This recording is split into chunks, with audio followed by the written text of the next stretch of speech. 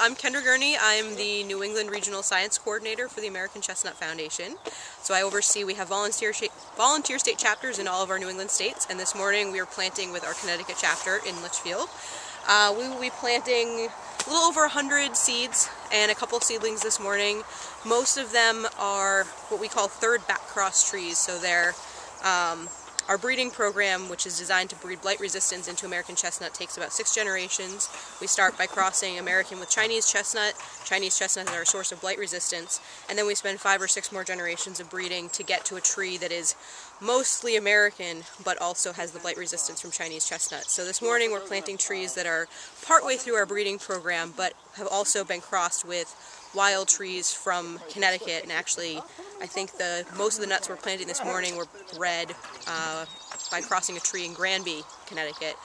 And so we'll be planting those out here and letting them grow for a few years and then we'll kind of move on to our next step of breeding which will be selecting the best trees and letting them cross. Prior to the late 1800s, American chestnut was a fairly common hardwood species uh, in the eastern U.S. It was uh, about 4 billion stems on about 200 million acres ranging from Maine to Georgia.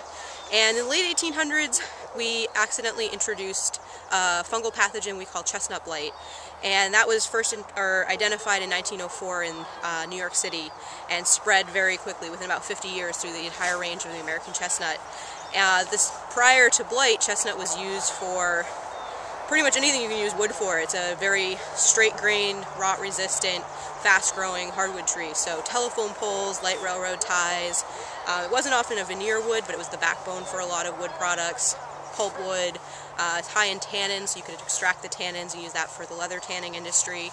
Um, and of course the nuts are nutritious and tasty, so humans and wildlife alike relied on that as a, as a food source. Um, unfortunately the blight wiped out our, our, American chestnuts. Uh, they do resprout from the root system, so we haven't lost them completely, but they don't really tend to hang on long enough to flower and reproduce naturally. So our breeding program is aimed to breed enough resistance to this pathogen into these trees so we can put them back in the forest and have them start participating in the ecosystem and providing a lot of those benefits that they were providing prior to blight. So this orchard is home to three what we call breeding lines, which are crosses between blight-resistant or potentially partially blight-resistant pollen from our research farm in Virginia and wild trees that we find in Connecticut. What we'll do here is actually allow these trees to grow to a certain size and we'll actually challenge every tree in this orchard with chestnut blight fungus. We actually make a little hole in the bark, put the, uh, the blight fungus in there, and then we look at which trees have the best response, that do the have the most resistance, can kind of contain that, that blight canker, and also look the most like an American chestnut.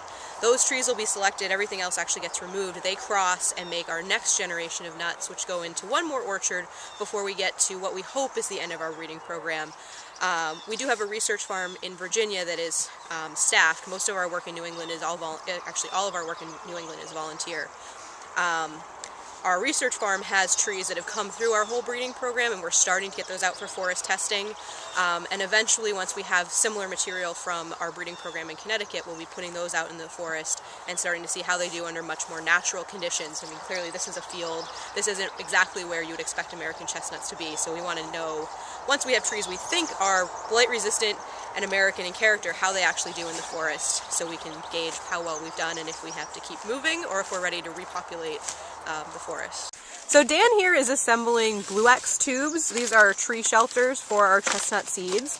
Uh, what we actually do when we plant is we put a little bit of soilless planting media in each planting hole that provides a weed-free germination environment for the seed. Then we put one of these shelters sunk about two or three inches into the ground um, secured with two bamboo stakes and that actually it gives the, the seed a nice place to germinate. Um, the blue actually filters in um, UV light that's good for photosynthesis and the shelter being sunk actually helps prevent voles from getting at the base of the trees. Here Robin and Dave are putting soilless planting media into these already pre-augured planting holes and they'll be planting the chestnut. Actually looks like they've already planted. So now they're securing the Bluex shelter over the nut, sinking it a few inches so that keeps the voles from being able to tunnel right into the roots. And the, uh, the bamboo stakes are going to help keep these guys in place. Um, I should say the shelters are kind of short in part because we have a deer fence, so those are not protecting against deer. The fence is doing that, so we don't need to use anything real tall. Um, and then we'll come back behind them with a, uh, a clothespin and just pinch the top of that to make a nice little greenhouse until the nut actually sprouts.